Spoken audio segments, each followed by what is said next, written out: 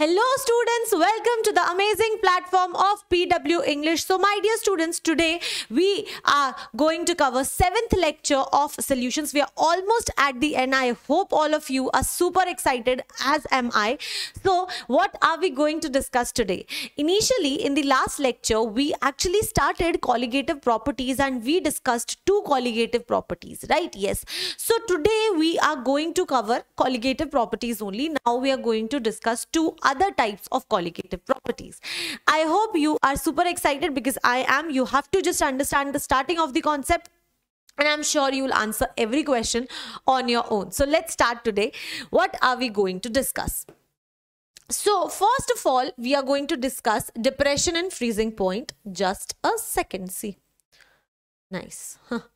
This is first we are going to discuss depression and freezing point which is a colligative property and osmotic pressure which is again a colligative property. So now let's start my dear students. First is depression in freezing point. For this what do we need? Ma'am just like the other parts we need a solvent, a pure solvent and a solution which in which we have added a non-volatile solute right? Yes. So let's start. First of all, we want uh, how we need a container. Yes, ma'am, we need a container. So here is your container okay? Then you need another container as well. So you have another container exactly the same container here okay? I hope all of everything is same here. So what you did is you added you added here was your pure solvent. So this is your pure solvent. And then, my dear students, then you did added non-volatile solute to it. Okay. So now you have your pure solvent with your solute. Yes, ma'am. So now we will call it as a solution. Perfect. This is exactly the same thing which we did in the last two colligative properties now what we are going to do is we will be defining the freezing points here we will be defining the freezing points here now let us consider that the freezing point of the pure solvent is tf naught and let us say the freezing point of the solution is t F. Okay. So if you need to write, then you can write that TF naught is the freezing point of pure solvent. And TF is the freezing point of solution okay. Now again a same question. We have read this depression but let's not under, uh, let's not take it very seriously. Let's find out that will will the freezing point of the pure solvent be more or the freezing point of your solution will be more? Okay. So now how are we going to find out that? For that we actually need to study the graph. If you will understand the graph you will definitely be able to answer this particular question. Okay. So let's start my dear students. For that graph what you need to understand before is that let's first define what is freezing point. Let's first define what is freezing point. Okay. So my dear students from the very very start or starting of your uh, studying of science you might have uh, studied this that the temperature the temperature at which at which the solid state starts getting converted into the liquid state and they attain a equilibrium that particular point is known as the freezing point. Okay. So now let's let me uh, make you understand this. Imagine you have you have ice here. You have h2o that is your ice. We are talking about freezing point so let's imagine you have liquid here. Okay. Water in its liquid state okay? And it is getting converted into ice so now. Imagine you know that you know that for converting a liquid into its solid state you need to condense it okay? You need to condense it you need to freeze it yes? Now my dear students what were you doing? When you were actually converting your liquid into the gas you were providing heat to it yes ma'am? When you wanted to convert your liquid into the gas state you were providing heat so that it will form more and more of vapors. But now you want to convert a liquid into its uh, solid state. That means you want to condense it you want to freeze it. For this my dear students you actually try to take away the heat from the liquid so that it might get freezed right? Yes. So my dear students let us let us say that the freezing point of water is 0 degree Celsius. We say this that the freezing point of water is actually 0 degree Celsius. So what actually happens at 0 degree Celsius is you had liquid, you had water in its liquid state and you started freezing it. When you started freezing it, you tried to freeze it. What you did, you actually tried to take the heat away from it. That is you were trying to decrease its temperature. Initially, let us say you had 20 degree Celsius of temperature. Uh, water you had 20 20 degrees Celsius, then you, you actually was trying to decrease the temperature and when you reached 0 degrees celsius what happened? What happened my dear students? Your liquid your water which was in its liquid state actually started getting converted into the ice form that is the solid state right? Yes. And my dear students this 0 degrees celsius is that temperature at which the equal amount the equal amount of your solid gets converted into liquid and the equal amount not equal amount the rate of freezing is is actually equal. So therefore, I can say that equilibrium is achieved that the rate at which your liquid water is getting converted into ice is exactly equal to the rate at which your ice is getting converted into the liquid state. This is how you actually define a freezing point. Freezing point is actually a temperature at which the rate of conversion of your solid state into liquid state is exactly equal to the uh, rate of conversion of the liquid into the uh, solid state. Okay, this is what is actually your freezing point. So if I if I talk about this particular thing happening into a container what will happen my dear students? You have h2o liquid state. Now it now at 0 degrees celsius what is happening? The water is getting converted into ice right? Yes so ma'am an equilibrium has been achieved yes. So now if i want to ask you my dear students that we have defined the freezing point. We know that it is that temperature where the solid state and the liquid state are in equilibrium to each other. If i talk about some vapors formed here what will happen ma'am? We can say that here since the container is closed the vapor pressure for both of them will be a constant value right? The vapor pressure of both of them will be same not constant. The vapor pressure for the solid and the liquid will be equal right? It will be same. I hope you understand i hope you understand this. Also now you have to relate it to what we have till now studied. We have studied till now that when whenever you increase the temperature whenever you increase the temperature more and more of the vapors vapors are formed. Right yes. So with increase in temperature more and more of the vapors were formed. And now my dear students you are trying to decrease the temperature. You are trying to take away the heat. If you are trying to decrease the temperature if you are trying to uh, take away the heat the number of vapors the amount of vapor will keep on decreasing right? Yes the vapor pressure will keep on decreasing. Can we say that the vapor pressure is actually kind of decreasing? Yes ma'am the vapor pressure is continuously decreasing with the temperature right? Yes. So this is what is happening here. This is what is happening here. I hope you've got this point. Why i made you understand this? Because from this particular part we'll draw a graph. And from that graph we will be finding out that will there be a depression or an elevation in the freezing point. Okay. I hope it is clear. If you need to write it, you can write it. First, we wrote this part. Then this. Okay? Yes. Now let's now let's try to make a graph out of it. Now let's try to make a graph out of it. Okay? Yes. So again my dear students i told you i have given you the major information. Now what you are supposed to do you are only going to answer me every part of it. See? This is a this is a graph here. You have vapor pressure here and you have temperature here okay yes. Now imagine imagine we are just a second i am actually not feeling well and uh, let me just switch off the ac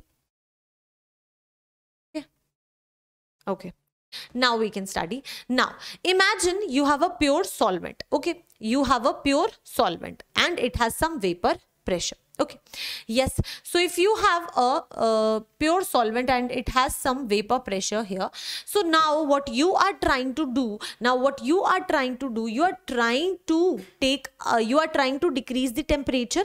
So with decrease in temperature i hope all of you understand that the vapor pressure will starts uh, will start decreasing right? Yes.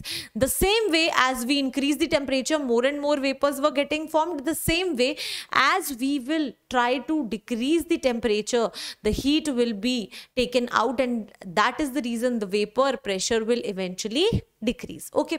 So for a pure solvent when a vapor pressure from liquid decreases this is how it decreases. This is how it decreases okay? This is how it decreases. I hope this is clear with you. Yes. Now I have told you that this is your pure solvent. Okay, so what actually happened here is, my dear students, you you started to you started to decrease the temperature. See, the temperature corresponding to this is this and slowly and slowly as you move this side what is happening? Temperature is decreasing. As your temperature is decreasing i hope you can see that the vapor pressure is also decreasing. The vapor pressure is also decreasing. If you move down you can see that. Yes ma'am. So you are decreasing the temperature. The uh, pure solvents vapor pressure is also decreasing. A point will be reached a point will be reached that is your 0 degree celsius for water for a pure solvent like water which will be its freezing point right right yes. Let us say this is that particular point which is known as its freezing point. And this freezing point my dear students is the temperature at which the solid state and the liquid state have came into a equilibrium have came into a equilibrium. Now as you cross this 0 degree celsius as you just move down below 0 degree celsius what will happen? All your liquid will be converted into the solid state. Just as from higher temperature to 0 degree Celsius, the whole of the liquid uh, state, the whole of the state was for liquid state. Same way, my dear students, as you will keep on decreasing and as you will move a little below the freezing point, what will happen? The whole of the state will be now a solid state. Okay. Now, after this particular point, the state has came out to be a solid state and for solid state my dear students since liquid just let me draw this line and then I'll make you understand. Okay. Yes. So what happens is now for a solid state, my dear students, what happens as you decrease the vapor pressure for solids, as you decrease the temperature, the vapor pressure decreases linearly. For liquid state, the decrease was not linear, right? Yes. But for solid state, the state, uh, the decrease is actually linear. So can I say that? So can I say that this is actually your liquid state here? And this is your here solid state. I hope you get this point. I hope you're getting this point. Yes. Now, let me repeat it again because you need to understand this particular part. Here, my dear students, I said you had a pure solvent. Okay. Now, for a pure solvent, if you want to if you want to get it converted into a solid state. So you need to decrease its temperature. Yes as you will decrease its temperature you know that you're trying to take away the heat. So the vapor pressure of that particular solvent will also keep on decreasing with temperature. As you decrease the temperature decrease the temperature decrease the temperature a point will be reached where the solid will be in equilibrium with the liquid right? Yes. So this is actually known as the freezing point of that particular solvent so I can say that this particular point is the freezing point of pure solvent, right? Yes, so this is the freezing point of pure solvent. So TF naught is the freezing point of pure solvent. I hope it is clear to you. Yes, ma'am. So this is your freezing point of pure solvent. Now, what happens is after, after you have reached the freezing point, now you will obviously you were decreasing the temperature. You will keep on decreasing. After the freezing point, as you decrease the temperature, the state gets converted into the solid state. Now it has all been freezed. Now the solid with that as well you will uh, keep on decreasing temperature and when you will keep on decreasing temperature now the vapor pressure will decrease linearly. So now this will decrease linearly. So this is how you get a plot, right? Yes. So now what I want to tell you here is the most important thing and what is that most important thing? That is my dear students we have talked about a pure solvent. But when you talk about a solution when you talk about a solution imagine you had solution here. Let us say the vapor pressure here is p naught and the vapor pressure here is P of solution, right? Yes. And my dear students, we have studied this n number of times that the solution's vapor pressure will always be less than your vapor pressure of the pure solvent. Okay. Now, when you have a solution, when you have a solution, my dear students, it has a solute and a solvent. When you have talk about a solvent, you only have the solvent particles. So when you uh, try to freeze, when you try to decrease the temperature of a pure solvent, only your solvent freezes, right? Yes. But when you talk about a solution or and for a solution when you start start decreasing its temperature and when the freezing point comes what actually freezes we have to discuss this right? Yes it's not that the whole solution will freeze. No in a solution when you freeze my dear students only and only the pure solvent freezes and not your solute this is the most important thing which you need to understand that when you freeze a solution when you freeze a solution only the solvent part of that solution freezes and not your solute okay? Yes. So this means that if i have a solution with a with a non-volatile solute into it so if i try to freeze that solution in that solution only the solvent part will freeze but not the solute part. So the freezed part will be of pure solvent only. Okay? This is the thing which you need to understand i hope you've got this point. Now now my dear students i told you that we know that the vapor pressure of the solution is always less than the vapor pressure of your pure solvent. So if in this graph my dear students this is the vapor pressure of pure solvent means this is p naught. This is p naught. Can can you tell me can you tell me that the vapor pressure of your solution will be less than the vapor pressure of your pure solvent. This means that if this is the vapor pressure of pure solvent then the vapor pressure of your solution will be less than that. And this is how you show that this is less right? Because this particular point corresponding to it is p naught then this is the ps. And ps should be less than your p naught. Ps should be less than the p naught. Okay? This is the vapor pressure of pure solvent and this is the vapor pressure of solution. Right? This is the condition we have been studying for n number of times. Now ma'am this is your solution. This is your ps that is the solution.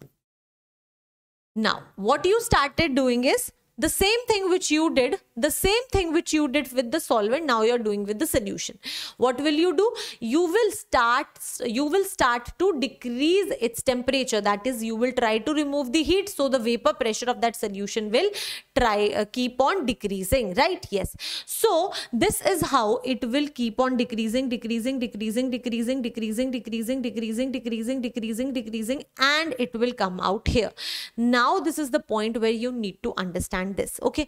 Now when my dear students you started decreasing the temperature the vapor pressure also kept on decreasing. Now a point will be reached which is known as the freezing point of the solution.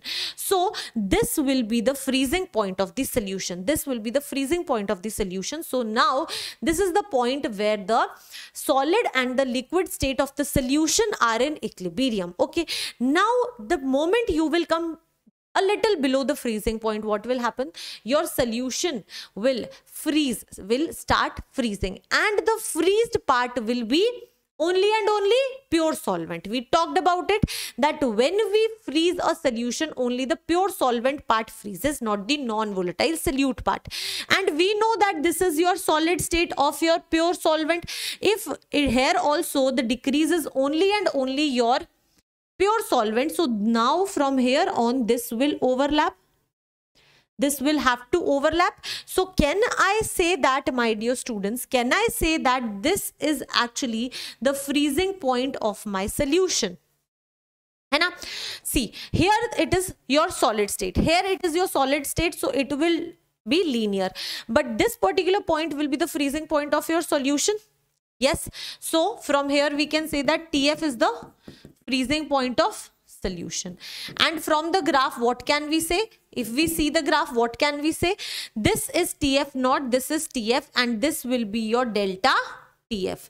And ma'am we can see that we can see that from graph from graph we can say that tf is less than tf naught. That is the freezing point of your solution is less than the freezing point of pure solvent and that is the reason and that is the reason we call it as the depression in freezing point. I hope you get this point. Why we call it as a depression and freezing point? Because the vapor i have made you understand the complete concept that when you for a pure solvent we started from a pure solvent you keep on decreasing the temperature the vapor pressure will decrease. This is how it will decrease.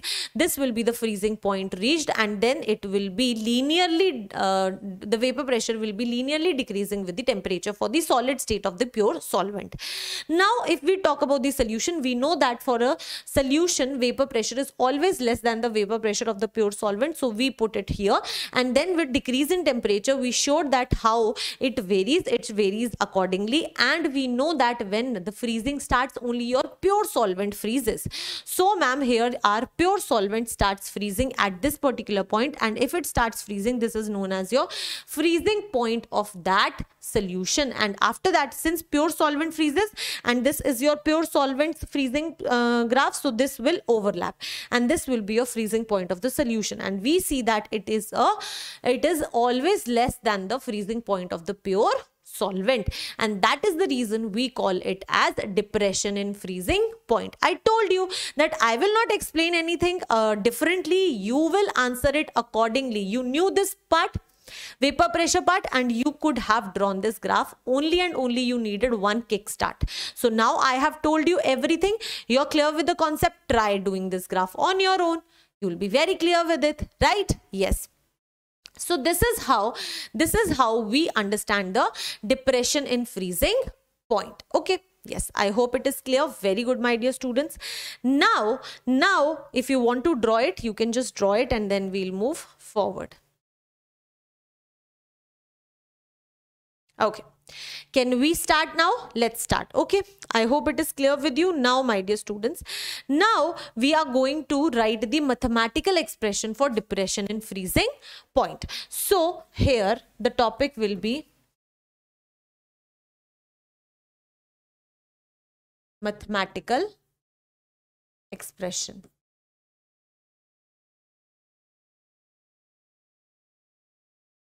So for the mathematical expression, my dear students, it is exactly similar to the boiling point part 1. We can understand it very clearly. What will happen, my dear students? Your delta TF, which is actually equal to, which is actually equal to TF now, what is large? What is the bigger value? It is a depression in freezing point. So, ma'am, pure freezing point will be always more than the freezing point of this. And always and always remember my dear students we take this in a mod. We always take this in a mod. Okay? So we can call it, this is your depression in freezing point. Okay. So similar the same way we discussed for the elevation and boiling point your delta tf is actually directly proportional to the molality of the solution. So here m of solution denotes the molality of solution. Okay. Now imagine imagine the more the non-volatile solute added the more will be the molality of the solution and the more will be the depression in freezing point right? Yes. The more the non-volatile solute the more will be the depression in the freezing point. Now when you remove this proportionality you get delta tf is equal to kf into molality. So this is the expression. So this is the expression my dear students for depression and freezing point. For depression and freezing point. Where you have kf where you have kf what does this denote? Let us talk about this. The kf is your proportionality constant and it is known by a name which is known as cryoscopic constant. It is a cryoscopic constant. Or we may call it as molal molal depression constant. It is the molal depression constant. Okay, it is it is mm, called by these two particular names also my dear students the kf is actually it actually depends on the nature of the solvent the kf value for different solvents will be different so we can say that it depends on nature of solvent.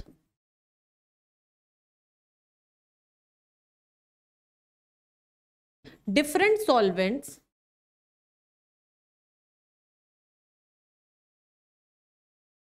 have different kf values. Okay your kf value for your solvent actually depends on the nature of the solvent. Different uh, solvents will have different kf values. Okay. Perfect. I hope this is clear to you. This is how we study the uh, depression and freezing point. Now let's talk about the unit of kf now we are going to talk about the unit of kf unit of kf okay how are we going to calculate the unit of kf very easy my dear students. We have done this in the uh, elevation boiling part also. Delta tf is equal to kf into m. So kf will be equal to delta tf upon molality. We know that it is a decrease in temperature part so it will always be kelvin which can be denoted by k. And if you talk about molality molality is mole per kg. It is always and always moles per kg. So the unit of kf comes out to be Kelvin kg mole inverse. Kelvin kg mole inverse. So this is the unit of your kf or your cryoscopic constant or your molar depression constant. Okay yes. Also my dear students we need to understand here a very important thing about kf is kf is equal to r into m into tf naught whole square upon thousand delta h f. Now now my dear students you need to understand this particular part you need to understand this particular part okay? I told you i told you that kf actually depends on the nature of the solvent. For different solvents kf values will be different okay? So what all terms are present here they mean something okay? So now let's talk about this. What is r here? R is your gas constant. R is your gas constant okay? R is your gas constant. Perfect. I hope there is no issue. If we talk about m it is the molar mass it is the molar mass of your solvent. It is the molar mass of your pure solvent. Okay. If you talk about the tf naught it is the freezing point of pure solvent. It is the freezing point of your pure solvent. Okay. Now if you talk about delta hf it is the enthalpy enthalpy of fusion. It is the enthalpy of fusion. Now imagine if I talk about a particular solvent, let us say water. If you talk about one particular solvent water, then R value gas constant is a constant value. Perfect. If you talk about the molar mass of water, that will be a constant value. If you talk about the TF naught value, then for a pure solvent, it has a fixed value of its freezing point. So TF naught is also fixed and my dear students enthalpy of fusion is also fixed. So for a particular solvent KF has a fixed value right yes where these are the terms as, uh, uh, respectively what they mean okay and based on these based on these calculations every kf value for every solvent is a fixed value let us say if we talk about kf value of water we call it uh, the value is 1.86 kelvin kg per mole. Right yes. So, so this is how for different solvents you will be given kf values in the question. You need not memorize it. You only need to know one kf value which is for water. Other values will be given to you. I hope this is clear to you. If you want to write you can write and then we'll move forward. I hope you've written it I hope you've written this as well. Okay. Now, my dear students, if you have talked about KF value, can I give you a homework? Can I give you a homework? Your homework is that you need to give me the information about KB. KB is your, KB is your molar depression constant. Okay. KB will be equal to R M TB naught whole square upon 1000 into delta H V. Delta H V where delta H is the enthalpy of vaporization. And dB, TB will be the boiling point of your pure solvent. Okay? Yes. So you have to find out this. And then you have to calculate the kb value value for water. So this is your homework. This is your homework. I hope you can do this. You don't have any issue with this. Perfect, my dear students. So this is how we study about the freezing point but we have talked about the mathematical expression. I, I Do I need to give you the expression? that delta TF is equal to KF into molality which is equal to KF into molalities moles of solute upon given mass of solvent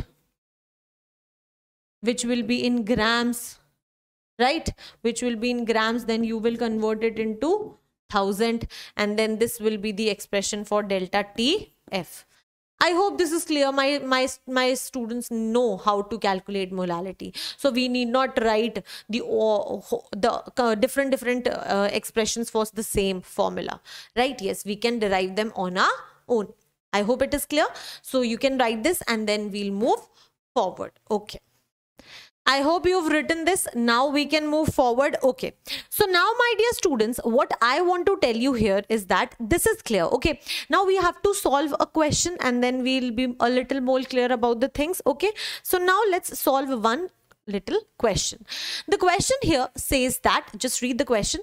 The question says that calculate the mass of ascorbic acid. You have to calculate the mass of ascorbic acid, vitamin C. You are given the formula of ascorbic ascorbic acid C6H8O6 okay?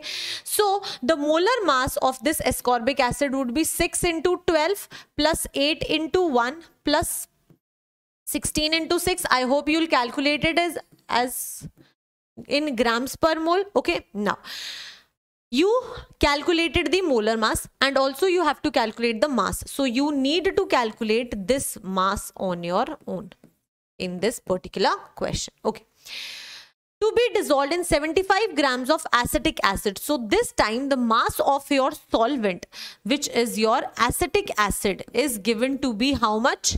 75 grams. Okay. 75 grams of acetic acid to lower its melting point by 1.5 degree celsius. Okay.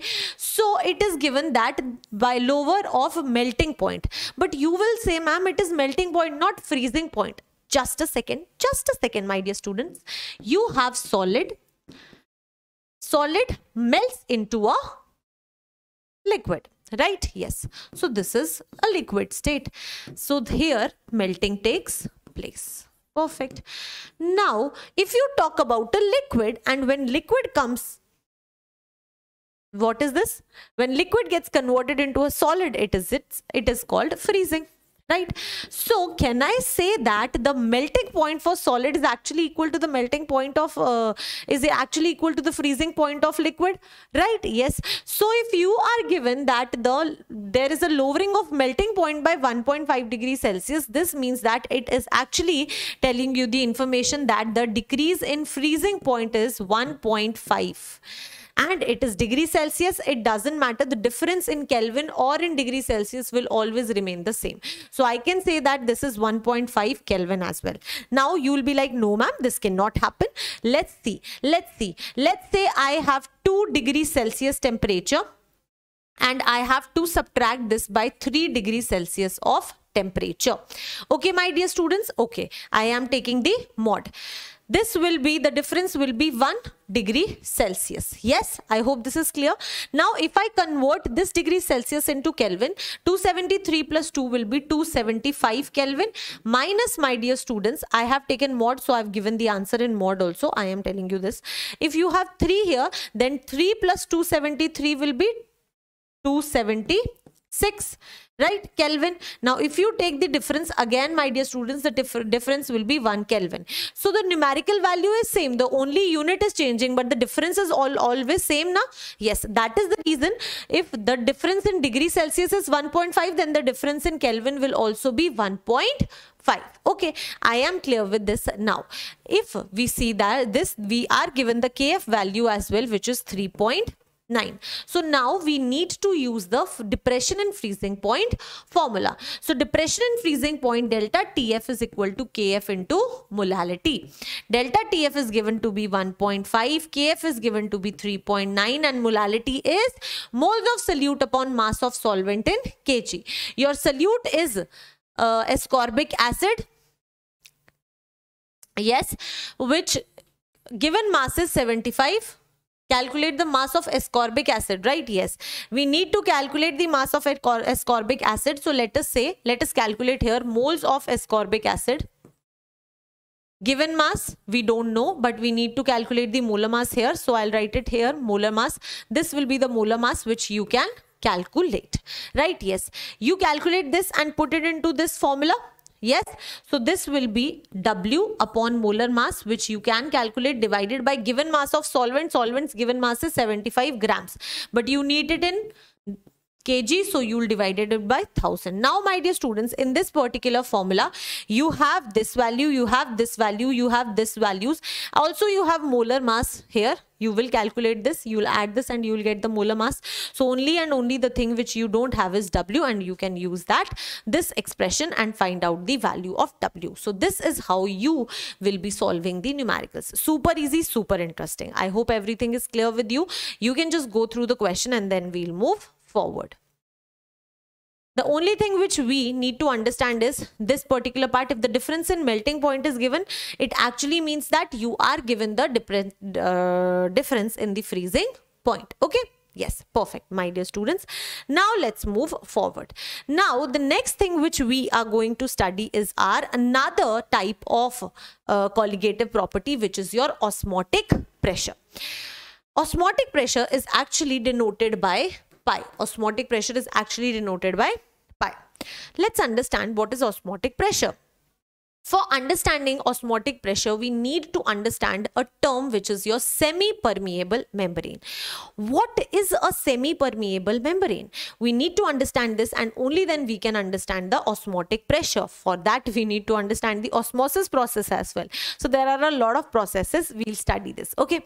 So now, my dear students, imagine, imagine what you have to do is you have to stand and you, you'll have to go to the kitchen. You'll have to go to the kitchen. Okay. So what happens in the kitchen? Kitchen you are trying to make tea. So you have that you have when we make the tea after that we have this this kind of container through which we you know put the tea and the uh, tea leaves actually just stay away and you get the liquid part in the cup. Yes ma'am.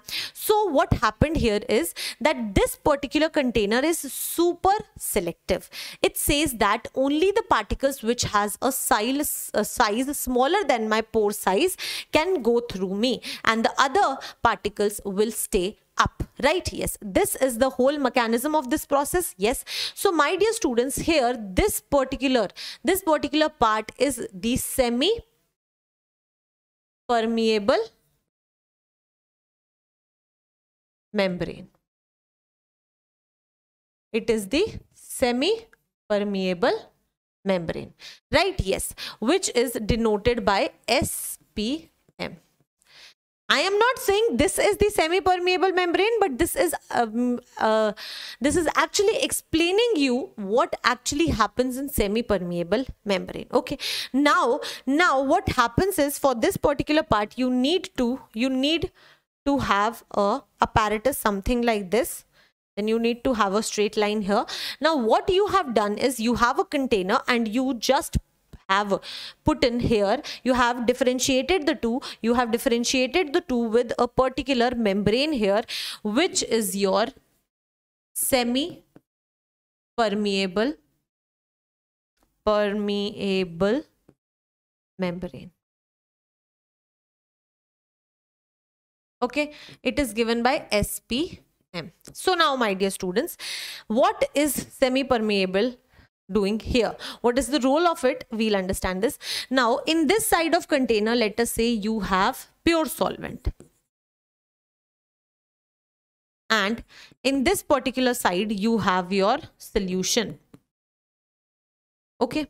Solution means you have your solvent plus non volatile solute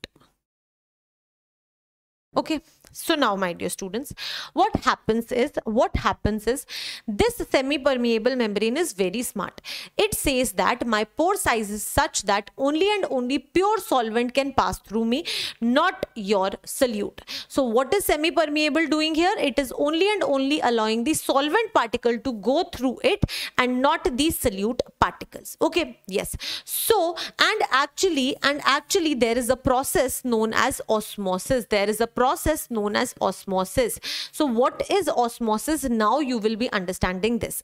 I told you semi-permeable membrane only and only allows the uh, solvent particle to pass through it. So this means that ma'am here we can say that this pure solvent can pass through this semi-permeable membrane this pure solvent can pass through the semi-permeable membrane. If I have a pure solvent here it can go through it. But if I want from the solution side to move. What will happen? Will the whole solution can move this side? No.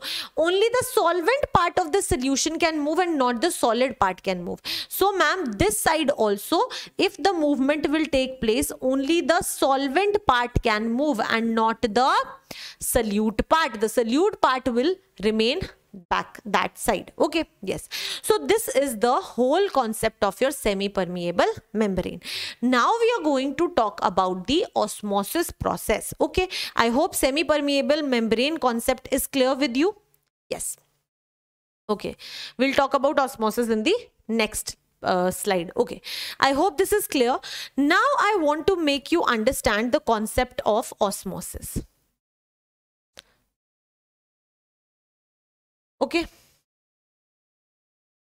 Let's say we are talking about osmosis. So in osmosis my dear students you have pure solvent here you have your solution here and this is your semi-permeable membrane. And we know that semi-permeable membrane only allows the solvent particles to pass.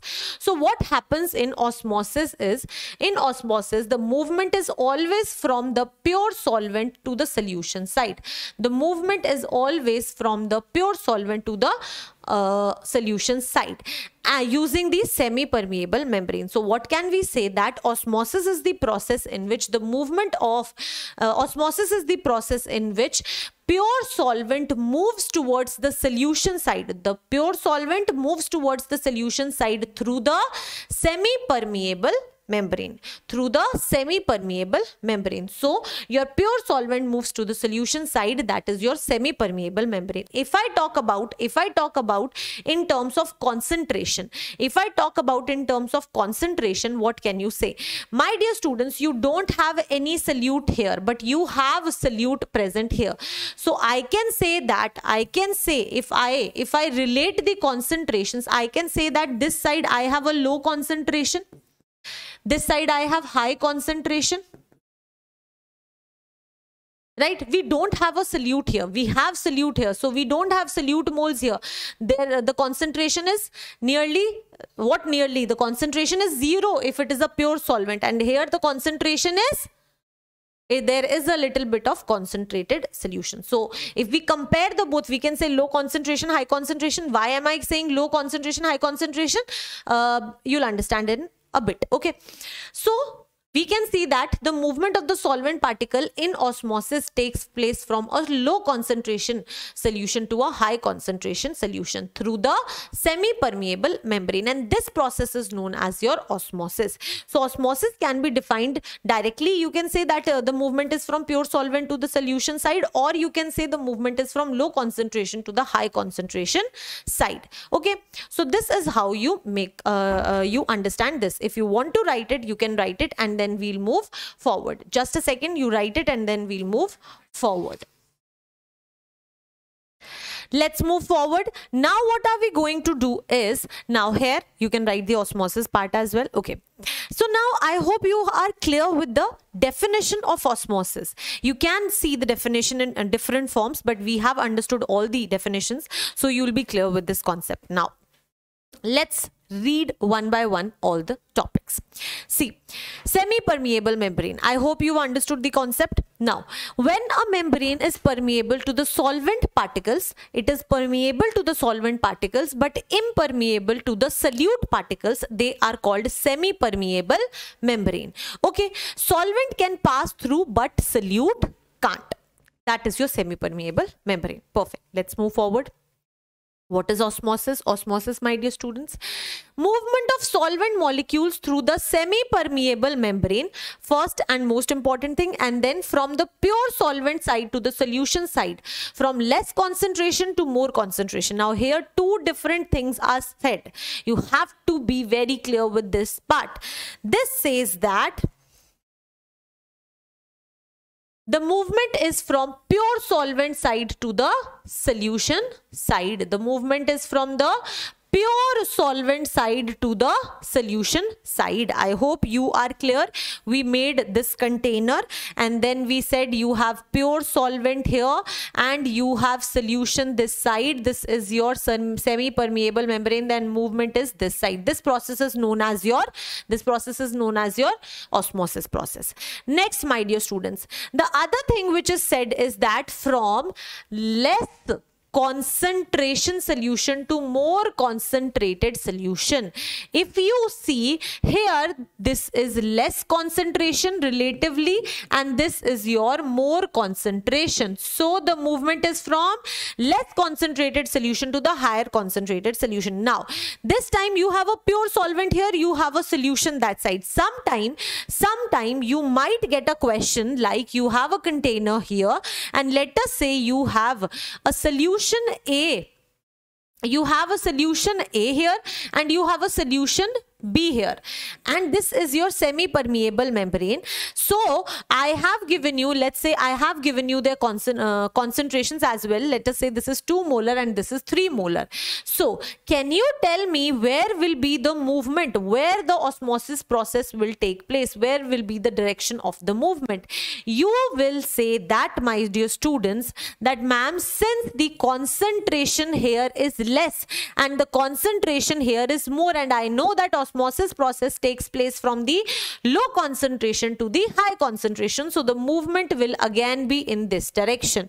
So sometimes when you are given different types of solutions you can find out how the osmosis will take place. That is the reason you get osmosis definition in two different forms and you need to understand each part individually perfect. Let's move forward.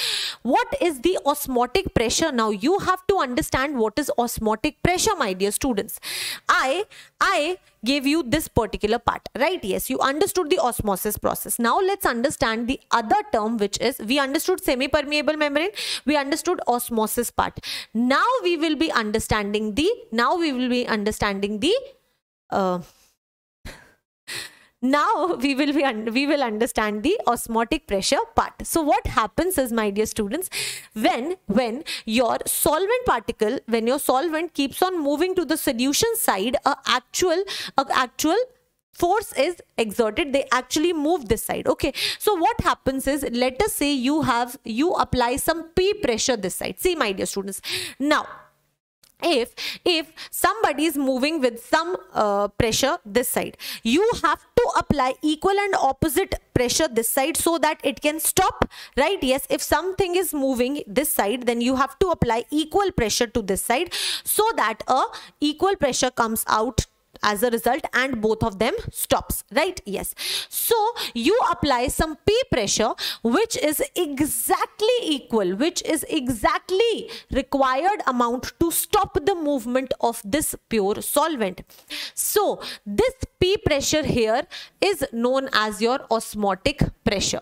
What is osmotic pressure then? The osmotic pressure is actually the press pressure applied on the solution side. I am applying on the solution side. Yes. So osmotic pressure is the pressure applied on the solution side to stop the movement of the solve pure solvent to the solution side okay? So you are actually applying some pressure to stop the movement and the pressure required is known as your osmotic pressure.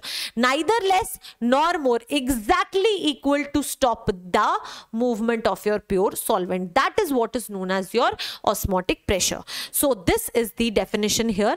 Osmotic pressure is the hydrostatic pressure built up on the solution side due to the osmosis from pure solvent side to the solution side a concentrated solution containing non-volatile solute will have a greater osmotic pressure but lower vapor pressure. Now you have to tell me the meaning of this particular line. Now let's study the uh, now let's study the meaning of this particular line. You have you have this part right yes now you have this apparatus my dear students just a second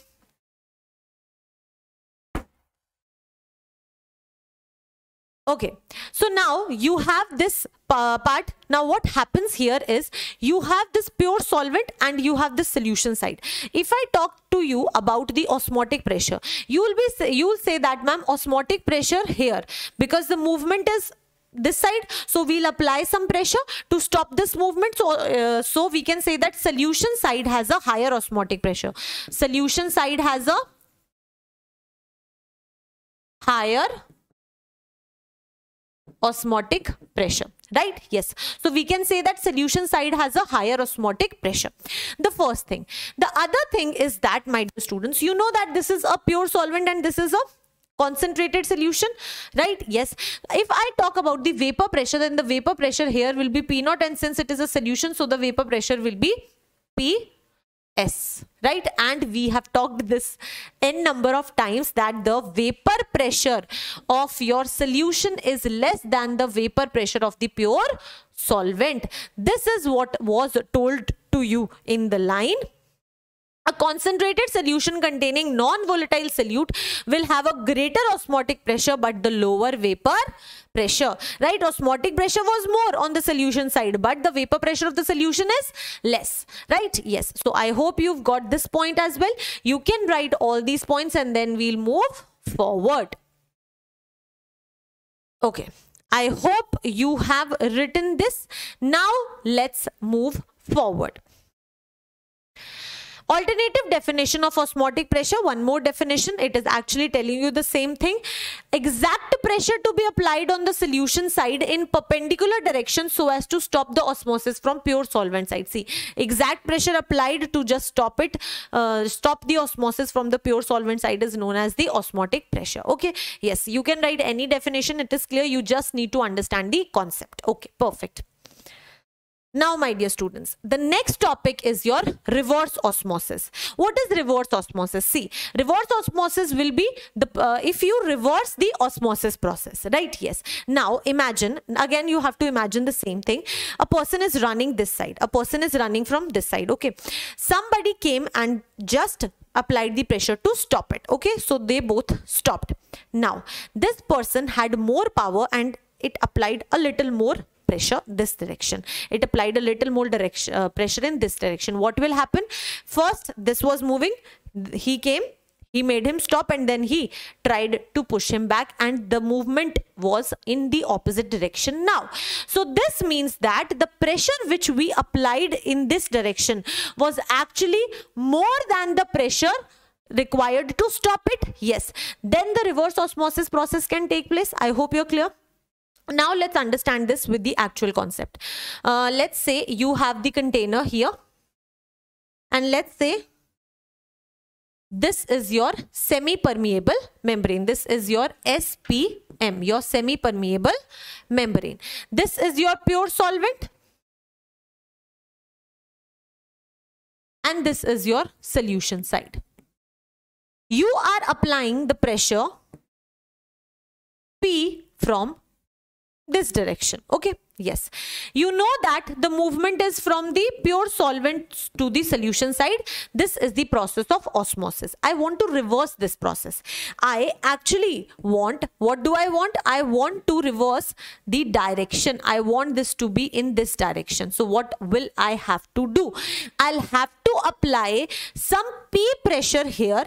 Let us say let us say that p dash is the osmotic pressure osmotic pressure. What was osmotic pressure? It was the exact pressure required to stop the osmosis process. So P dash is the osmotic pressure. And if I apply some P pressure which is actually more than the osmotic pressure, if I apply a little more pressure which is more than the osmotic pressure then the movement will be now from the solution side to the pure solvent side. And but and but and but. Wow. Ma'am has used ma'am has used both the terms together. But my dear students what i want to ask you here is now the movement is from solution side to the solvent side right yes what will move through the semi-permeable membrane? Will the whole solution move? No. Semi-permeable membrane only and only allows the movement of the pure solvent. So, from the solution side also, only and only the pure solvent part can pass through this semi-permeable membrane. The solute part will remain in the solution side only. So in reverse osmosis, the solution side starts to move towards the pure solvent side but uh, from the solution only the pure solvent moves and not the solute particle. This is known as the reverse osmosis process. Let's just read it. If the pressure applied on the solution side is greater than the osmotic pressure of the solution, the solvent will flow from the solution side to the pure solvent side. And it is called the reverse osmosis process. Right? Yes i hope this is clear. Now my dear students what i want to make you understand is we all drink the uh, we all drink ro water right? Yes we've seen ros we know that ro water pure water everyone says this right? Yes. Now let's understand the functioning of that ro what actually happens in ro ro water which we call is actually ro stands for reverse osmosis it actually stands for reverse osmosis. And what happens in reverse osmosis is this same part.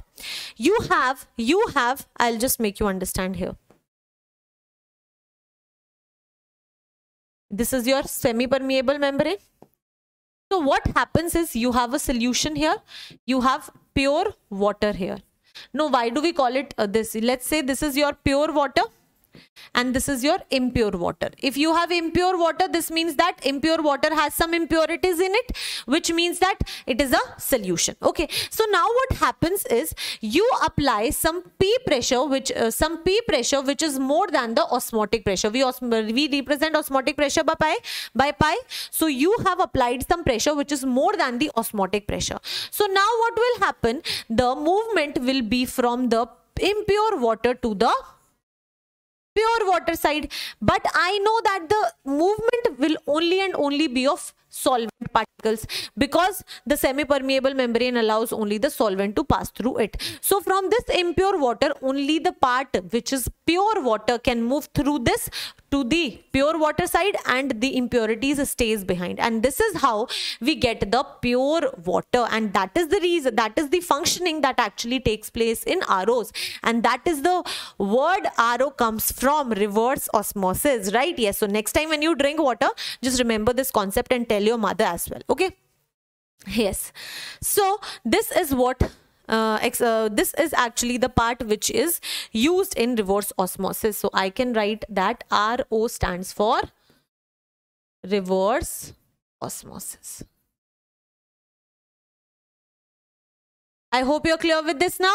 Perfect. Now, my dear students, you have two solutions. Now, imagine, imagine I have kept two solutions. Now, imagine I have kept two solutions. Solution 1, solution 2.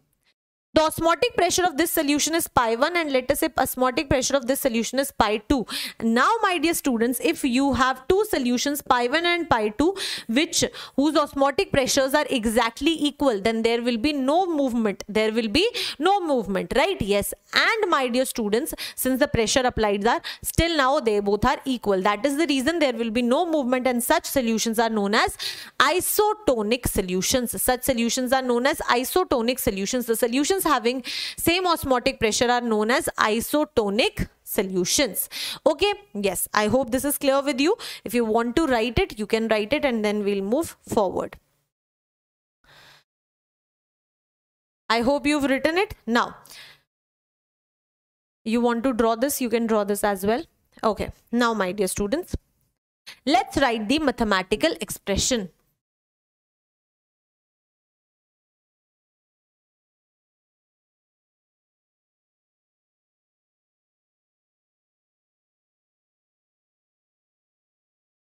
Now you have the mathematical expression for for osmotic pressure.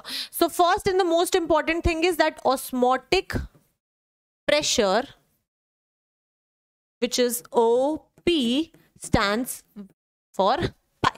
So the expression for it is pi that is your osmotic pressure is equal to CRT. Now let's understand what each term stands here for. See pi is your osmotic pressure. Pi is your osmotic pressure. C is the concentration of solution. C is the concentration of solution in moles per in moles per liter. Okay. Then you have R. R is your gas constant and T is your temperature. Now temperature is always taken in Kelvin. Okay. Yes. Now, my dear students, what I want to tell you here is that that mostly your now when you talk about the osmotic pressure, now your the value of R actually depends on what value are you taking for your osmotic pressure. If your osmotic pressure is in atmosphere, then your R value which you are going to use is 0.0821 liter atmosphere per Kelvin per mole. Okay? You will be using this value. If your osmotic pressure is in pascals my dear students then you are going to use 8.314 joules per kelvin per mole value. Okay? And if you have if you have your osmotic pressure in any other value then you will have to convert it into atmosphere unit and then solve the numericals. So unit conversion is very important. This part is very important. You have to see the unit of your osmotic pressure and accordingly you have to use the value of your R. Okay. Yes. I hope you're clear with this. This is the mathematical expression we are going to use. Just write it and then we'll solve a numerical and be clear with the concept. Okay. I hope you've written it. Now let's solve a question. What does the question say? Read the question. Calculate the osmotic pressure in pascals. Now, my dear students, you have to calculate the osmotic pressure in pascals. So this means that I'll have to use the R value as 8.314 joule per Kelvin per mole. This is the first information that I know uh, exerted by a solution prepared by dissolving 1 gram of polymer. Now you are given the mass of polymer, you are given the mass of polymer as 1 gram of polymer of molar mass. Also you are given the molar mass of that polymer equal to 185. In 450 ml of water, you are given the volume of water equal to 450 ml and you're given the temperature 37 you need to convert it into kelvin. So add 273 to it. This will be 0 1 7 10 11 1 1 and 310 kelvin. Okay? Now my dear students i know that pi is equal to crt so now i have c. I need to calculate the concentration. Concentration means that you have to calculate in moles per liter. So for calculating the concentration c i need moles of solute upon volume of solution in liters. What are the moles of solute? I have the polymer i am given the mass 1 gram and 185 grams. This is 185 grams. Okay. So 1 upon 185 divided by volume of the solution in liters. I have the volume See, you have volume of water given here. The volume of water will actually be equal to the volume of solution. Okay.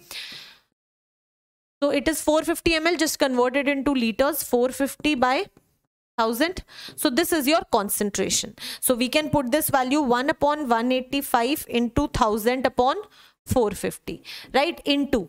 What will be the r value we are going to use? Because we have to calculate in pascal so we'll be using 8.314 into temperature 310 so this is how you can calculate your value of the osmotic pressure right? Yes it is super easy very good. You can solve this and you will get your answer. So if you want to write it then pause the video write it and then we'll move forward. Let's solve some PYQs. Let's solve some PYQs. Okay. Yes. So now my dear students, the question says that isotonic solutions have. What are isotonic solutions? See, such an easy question was asked in NEET 2020, my dear students. What are isotonic solutions? Isotonic solutions are those solutions. Isotonic solutions are those solutions which have the same osmotic pressure right yes so same osmotic pressure means option c will be your correct answer I hope this is clear with you.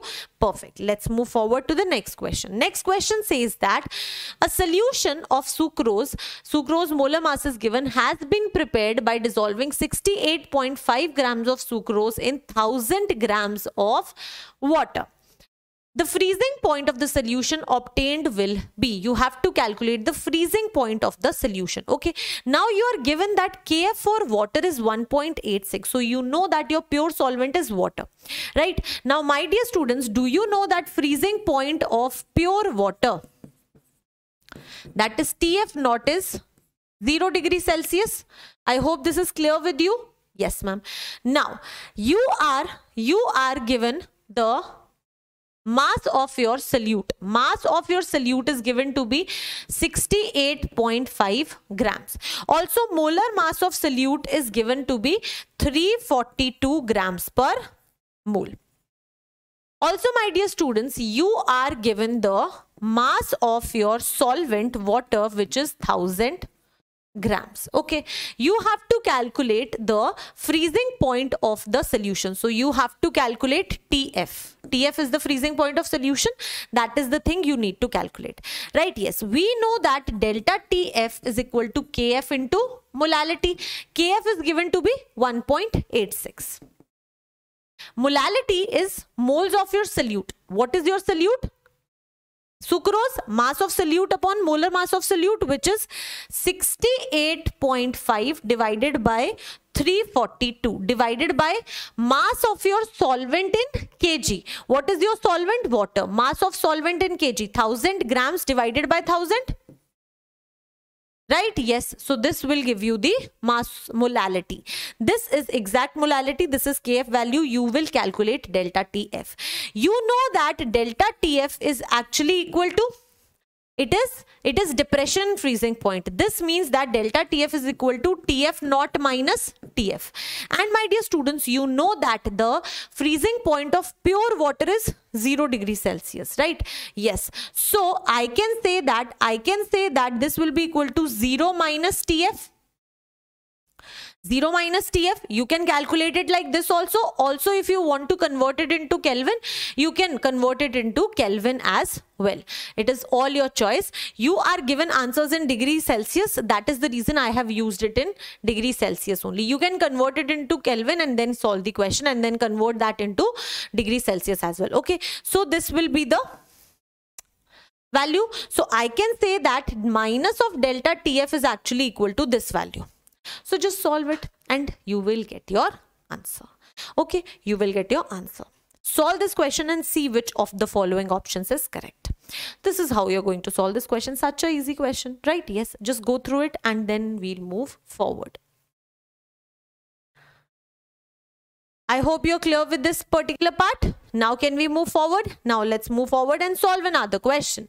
You have another question from uh, 2021 you have a question of JEE 2021 let's see the question. Question says that you have 1.46 grams of a biopo biopolymer dissolved in. So first of all i am given the mass of my polymer 1.46 in 100 ml water. So i am given the volume of water as 100 ml at 300 kelvin so i am given the temperature as well 300 kelvin exerted a osmotic pressure of 2.4 2. So I am given the osmotic pressure equal to 2.42 into 10 raised to the power minus 3 bar. Now my dear, my dear students, since you are given the pressure in bar, here I am just for calculations, just for calculations. I know, I know there is a very little bit difference in atmosphere and bar, but just for calculation because I need the answer in integer type. So I can say that this is nearly equal to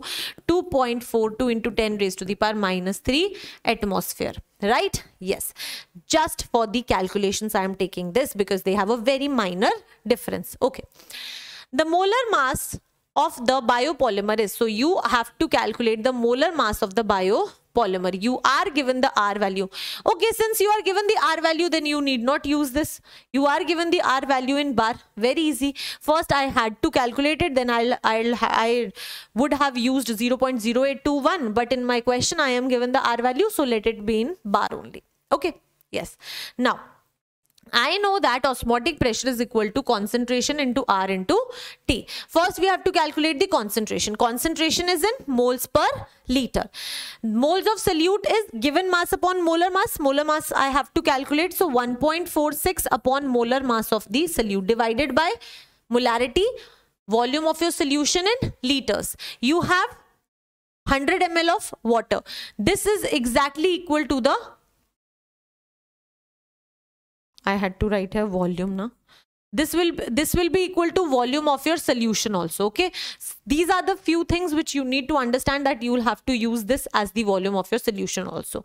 So since the volume is 100 ml so this will be the volume of your uh, solution as well. So volume 100 ml you need it in liters so divided it by 1000 so this is the concentration expression. Okay. So you are given pi value as 2.42 into 10 raised to the power minus 3 this will be equal to concentration 1.46 upon molar mass into 1000 upon 100 into r value you are given in the question you have to use 0.083 into temperature 300 so you have this part you only need to calculate one expression which is this. You can just solve it and you will get the value of molar mass. Mind it you have to give the answer in the in the form of dash into 10 raised to the power 4 grams per mole okay?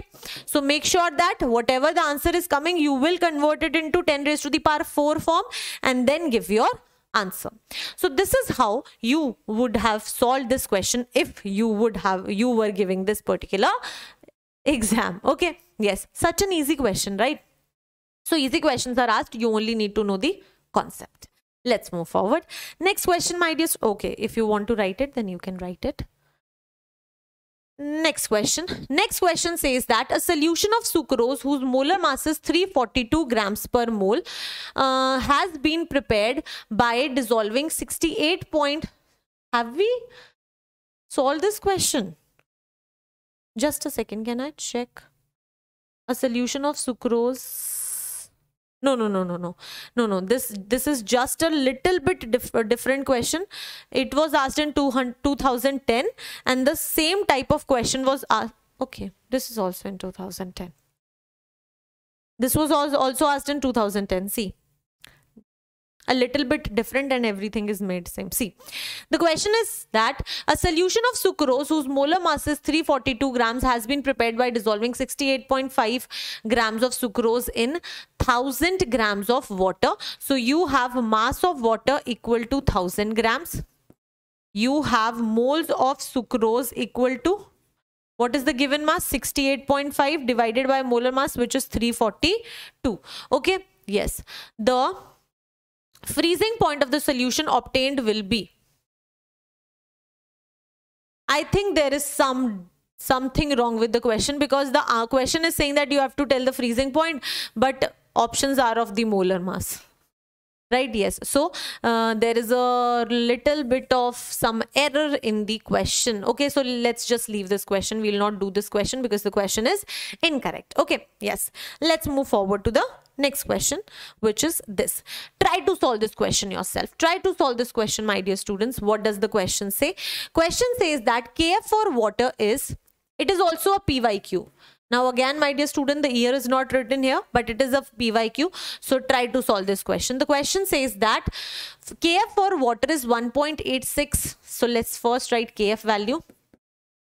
I'll tell you which year as well, okay? In if your autom automobile radiator holds 1 kg of water, so you are given the mass of solvent equal to 1 kg then how many grams of ethylene glycol? So you have to tell the mass of your solute, which is your ethylene glycol. Then how many grams of ethylene glycol? You can calculate the molar mass of ethylene glycol. How? You have 2 into 12 carbon plus 6 into 1 plus 16 into 2. Calculate the molar mass from here. Okay. Then how many grams of ethylene glycol must you add to get the freezing point of the solution lowered by 2.8 degrees Celsius? Minus 2.8 degrees Celsius is given. This means that delta TF value in mod is equal to 2.8. Right? Yes. I know that delta TF is equal to KF into molality i need to calculate the molality how can i calculate the molality my dear students? Moles of solute solute is ethylene glycol. So mass i have to calculate for ethylene glycol. Molar mass you will calculate it from here. So molar mass divided by mass of solvent. Solvent mass is given to be 1 kg. You need mass of solvent in kg. So this is 1 so this is the molality right? Yes? Perfect Let's put the values. Delta TF is 2.8. KF value is given to be 1.86 and molality is WS upon molar mass. You will solve this and you will get the molar mass. You only calculate, you only need to calculate the mass of your solute you have this you have this you have this so can you calculate this? Yes you can calculate this. Solve this and you will get your answer here. You will get your answer here. Okay? Yes. Perfect. So this is how these questions are asked. Such, such easy questions my dear students you just have to practice them. Okay? You just have to practice them.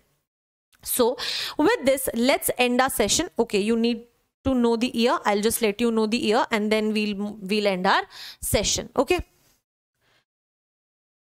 Mm, what is which year are we talking about?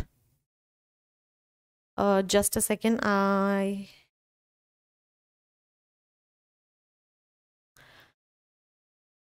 the question was that the year is it is a question of AI Triple 2012 okay so it is a question of AI Triple 2012 let's correct the previous question also and I'll give you the homework.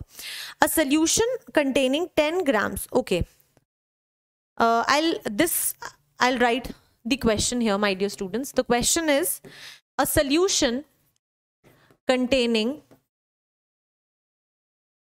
a solution containing 10 grams per decimeter cube of urea. You have a solution which is containing this. The molar mass of urea is given to be 60 grams per mole. Okay.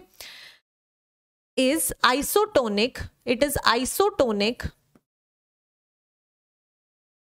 with 5% with 5% solution of a non volatile solute of a non-volatile solute okay? The molecular mass of this non-volatile solute the molecular mass of this non-volatile solute. You have to give the molecular mass of this non-volatile solute which year my dear students? It is of AIPMT 2006 AIPMT 2006 so try this question. We'll do this question and then we'll end the session. Okay. So let's see what does the question say. Question says that you have a solution containing 10 grams per decimeter cube of urea. So if you have 10 grams of urea per decimeter cube you have 10 grams of urea per decimeter cube. Okay. This is what it is given to you. So is isotonic with 5% solution of a non-volatile solute. You have a 5% solution of a non-volatile solute. Okay. So my dear students, 5% solution means that you have 5 grams of your solute. You have 5 grams of your solute present in 100 milliliter of solution I hope this is clear with you. So, so can I say that, can I say that 5 grams if 5 grams are present in 100 milliliters, then how many grams of solute will be present in 1000 milliliters? 50 grams, unitary method. 50 grams of your solute will be present in 1000 milliliter of solution, right? Yes. And 1000 milliliter means 1 liter of solution. I hope you've got this point. Yes, ma'am. Right? Perfect. So you have 50 grams of urea present in 1 liter of solution in one solution. And in another solution, one you have 10 grams present in 1 decimeter cube. I want to tell you here the most important thing which you need to know is that 1 decimeter cube is actually equal to 1 liter. So this means that I have 10 grams of urea in 1 liter solution. In this solution, I have 10 grams of urea present in 1 liter solution. In this solution, I have 50 grams of urea present in 1 liter of solution. So if I want to if I want to find out the moles of solute present, that is your moles of urea, then I just need to divide the given mass by molar mass. And I am given the molar mass of urea to be 60 grams. So 50 divided by 50 divided by 60 moles of urea are actually present in 1 liter of solution. And here, my dear students, 10 upon 60 moles of urea are present in 1 liter solution. I hope this is clear with you. See, a solution containing 10 gram per decimeter cube of urea is isotonic with 5% solution of a non-volatile solute. Okay, you don't know that this is urea. Okay, then this is not urea. It is not urea. You don't know what is the solute here, but you know the solute here. This is how we will read this question. Okay.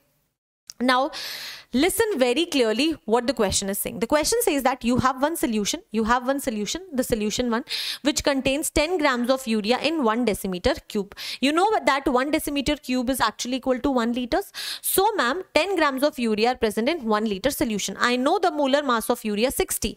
So, if I divide this given mass by molar mass, I can say that this much moles of urea are present in 1 liter of solution. Okay, very clear. So, if I talk about the concentration, So, huh. so if I talk about the concentration of solution here, this will be moles of solute 10 upon 60 divided by 1 liter volume. So 10 upon 60 is the concentration of your first solution. Okay. In my second solution, my dear students, it is given that it is 5% solution. It is a 5% solution. So 5% solution means that you have 5 grams present in 100 ml solution. So if I talk about 1000 ml, if I'm multiplying by 10 here, I'll have to multiply by 10 here as well, unitary method. Then 50 grams will be present in 1000 ml of the solution, which means 1 liter of the solution. I don't know what is the non-volatile solute. Let us consider the molar mass of the solute to be m. So if the molar mass of non-volatile solute is m grams per mole. Then the moles 50 upon m moles will be present in 1 liter solution. So if I talk about the concentration of this solution, the concentration of this solution will be equal to moles of solute which is 50 upon molar mass divided by volume of the solution 1 liter. So this means that 50 upon m is the actual the concentration of the solution 2.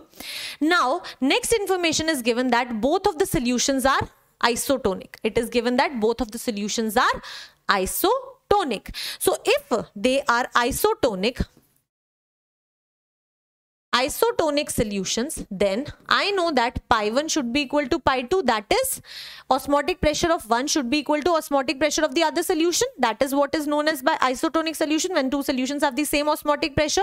So this means that C1R into T1 should be equal to C2R into T2. But my dear students, since there is no information about the change in temperature, this means that everything is taking place at the constant temperature. So we can say that T1 is is also equal to T2. So this means that C1 into RT is equal to C2 into RT. So this can be cancelled. So C1 should be equal to C2. This means that the concentration of both the solutions should also be equal. Let's talk about the concentration of first solution which is 10 upon 60. So 10 upon 60 is actually equal to 50 upon m. So this is equal to 50 upon m. So this will be cancelled out. So here it comes out to be molar mass of the solute comes out to be 6530 300 grams per mole. So this is the molar mass of the solute. So this is the molar mass of the solute that we can calcu calculate. Okay. Yes. So this is how you needed to solve this question. This question was the most important question of this session. And uh, thank God we wrote this question and we haven't missed this question. Right? Yes. So I hope you're clear with this part. I just calculated the concentrations of the two part. I was given it is isotonic. So I equated the osmotic pressures of both. I used the formula and I found out the molar mass of the non-volatile solute okay? Yes. Perfect my dear students. With this with this we come to the end of our session. I hope you are very clear with all the parts of this particular session. We are almost done with the liquid solutions chapter my dear students. Only one little topic is left which is the Van't Hoff factor or you call it as abnormal masses. Okay that topic we will be covering in our last session. And in our last session we will be practicing a lot of previous year questions of JEE and NEET and my dear CUET uh, students you need to try to solve all those questions because your part is exactly same. They will be conceptual questions tricky questions. So you need to have a grip on this part. Okay? Yes so I hope all of you enjoyed today's session I did a lot and I I tried to give you the most of every topic. I hope you enjoyed it. I hope you understood every part and I hope you're studying very well. So keep studying like this. We'll meet in the next session. All the very best.